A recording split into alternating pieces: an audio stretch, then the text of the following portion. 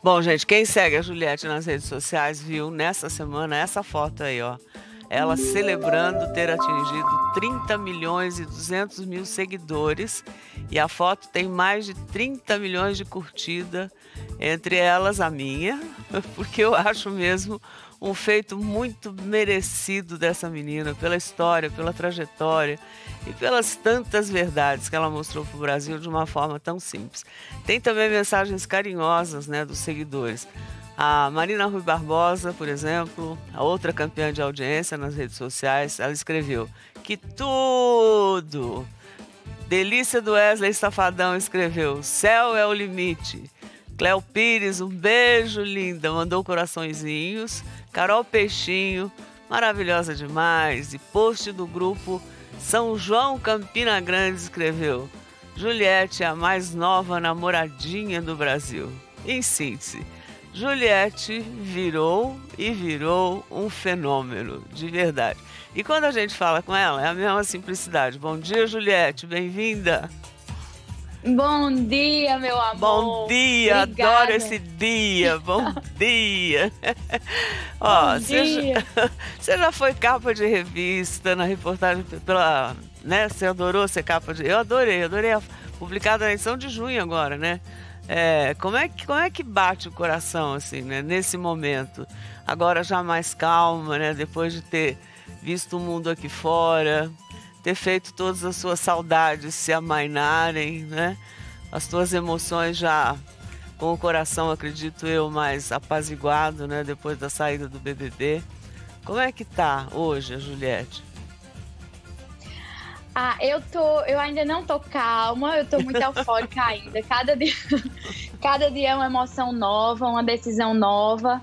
Mas eu tô muito mais feliz, com menos medo, tô com a coragem que eu sempre tive e tô de braços abertos, abertos recebendo tudo isso que o Brasil tá me dando. Mas por mim eu ficava chorando besta o, o dia todinho. Aí só que eu não posso, eu tenho que ficar feliz sem ficar muito emocionada, senão eu não faço nada. Então conte pra gente o que, que você anda fazendo. Para quem não te vê todo dia, para quem não tá te seguindo ainda, porque você continua subindo nas redes sociais, enfim. Como é que é o seu dia a dia hoje? É, deixa eu ver, eu faço muita foto, fecho muito contrato, é, tomo, deci...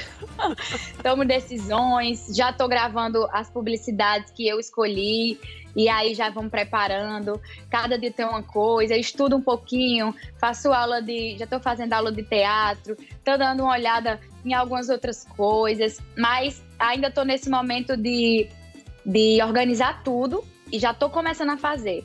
Já fiz Avon, já fiz essas que vocês já viram, americanas. Pode falar não, né? Agora, aquele, aquele seu sonho, né? Você entrou no BBB com uma meta muito clara e você falou isso durante todo o jogo, né? De, da sua mãe, né? Que você gostaria de ganhar o prêmio porque você iria construir uma casa e ia dar uma vida melhor para sua mãe e ajudar os seus irmãos, né? É, como é que foi essa sua visita lá, sua primeira visita na sua mãe e tudo? Como é que. Claro que foi o máximo, né? Mas enfim, você já está conseguindo não. realizar isso? Eu ainda não fui a Paraíba porque eu fiquei muito preocupada. É, as taxas de ocupação dos hospitais e, e dos mortos estava bem alta. É, a gente está monitorando isso e eu tentei organizar para não ter aglomeração, para quando eu for conseguir ver minha família tranquila e tal. Então eu vou agora, em junho. Não fui ainda, só vi minha mãe, ui, minha mãe e. Oi, peraí. É muita experiência. minha mãe e meu irmão e os meus amigos que trabalham comigo. Mas eu não vi meus outros irmãos, meu pai, minha avó, meus tios eu ainda vou. Então essa emoção eu ainda não senti. Agora, a gente inclusive, é, a gente soube que, gente, você contou inclusive que a dona Fátima, que a sua mãe sofreu um AVC né, em 2019 e ficou com sequelas e tudo, e que falta firmeza ainda nas mãos, é, porque a mãe da Juliette foi ajudante de pedreiro, levou 20 anos construindo a casa própria, onde tem um salão de cabeleireiros com um puxadinho, olha ela aí, com a mãe. É, e aí ela veio te ver, e aí vocês choraram quantos dias, as duas, juntas, abraçadas? A gente, por, por incrível que pareça. Ah. Ai, meu Deus, peraí. Por incrível que pareça, a gente não é muito de chorar. A gente ah. é mais de falar, perceber, de rir. O primeiro dia, o primeiro dia eu chorei muito, mas de alívio mesmo. Eu, tipo, ai meu Deus, acabou, deu certo, deu certo. Eu chorei mais assim, e depois foi só sorrir. Minha mãe é uma comédia. Você vai conhecê-la. Eu vou, quero muito, quero muito. Pura. ela faz graça o tempo inteiro, ela toma a cena. É igual eu, Às vezes estou gravando uma coisa, ela interrompe. Tem a quem puxar, tem a quem puxar. Agora, no começo é. me falaram assim, tem um monte de coisa que falam de você, porque você é um assunto hoje corrente na casa de todos os brasileiros. E uma delas que falaram é que você estava tava fazendo uma parceria, enfim, que você tinha uma, uma pessoa que ia te ajudar, que eu admiro muito também essa menina, que é a Anitta, né? Falou, não, tá na casa da Anitta, a Anitta vai empresariá-la tal. E aí, se é que eu posso perguntar, é, é verdade? Como é que tá? Não, assim, a Anitta tá dando todo apoio que eu pedi que eu precisar, mas a minha empresária sou eu é, e os meus amigos que me conheciam antes e tal, ela não.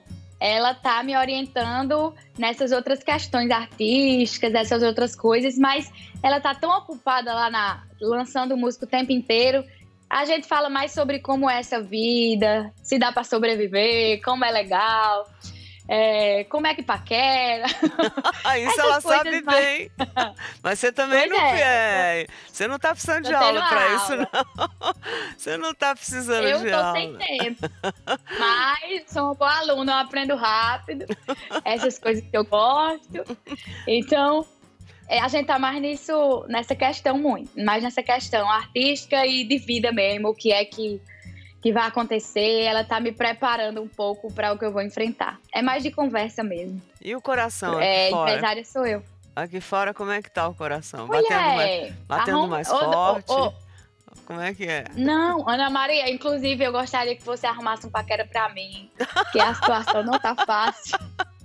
Vamos combinar eu da gente sair quando... junto. Oxe, bora? Bora. Eu, eu pensei, eu pensei que quando eu, fiquei, eu ficasse famosa, eu ia ter muitos paqueras, não sei o quê. Não, eu tenho uma conversinha, aí, oi, tudo bom, não sei o que lá, não sei o que lá, acaba. Nada flui, porque não dá tempo. Enfim, estou nessa vida da mulher carente famosa agora. Quer dizer, beijar então, nem pensar isso. Aqueles beijos que você queria dar lá no BBB e não deu conta, aqui também ainda não aconteceu? Não, eu tô trabalhando para isso, tô me esforçando muito, vai dar certo. Tô na, tô na luta, tô na luta, tô na guerra. Agora, quando você foi lá no Faustão, é, eu vi que naquele momento foi um momento especial, né? Porque sempre que a gente, um cara como o Faustão, né? Quase 40 anos de televisão aí, né? Lançando gente para tudo quanto é lado. É, como é que você se sentiu naquele momento? Estava tão Ai, linda, viu? Oh, obrigada. Eu tava em êxtase, parecia que eu tava entrando num sonho ali. Quando a Juliette vai entrar agora, eu. O sonho. Agora. gente boa, da bondade oh. da pessoa ruim. Deus me governe e guarde, zele por mim. Caminho se conhece andando, então vez em quando é bom se perder. Perdido fica perguntando, fica procurando e acha sem Eu saber. Periga é se encontrar perdido, deixar sem tecido, não olhar, não ver. Bom mesmo é ter sexto sentido, andar distraído, espalhar bem querer. Olha aí, Chico César, meu, o bom gosto dessa garota. Diga uma coisa, o que, que você vai, o que, que você está é trabalhando, o que, que você está trabalhando nesse momento para é, usar esse seu talento que Deus lhe deu, que é essa voz tão doce, tão linda? Tem algum projeto nessa área? Ó, oh, eu tô agora, eu tive aula de teatro para saber fazer essas publicidades que eu tenho vergonha ainda. Eu fico, ai meu Deus, tô sem graça. E eu tô ouvindo muita música, eu tô tentando distrair um pouco com isso. A vontade do meu coração de fazer música é, eu acho que é uma das maiores mas eu ainda não posso. É, eu ainda não posso dizer eu sou uma cantora. Eu quero ser uma cantora e eu vou trabalhar para isso. Que linda!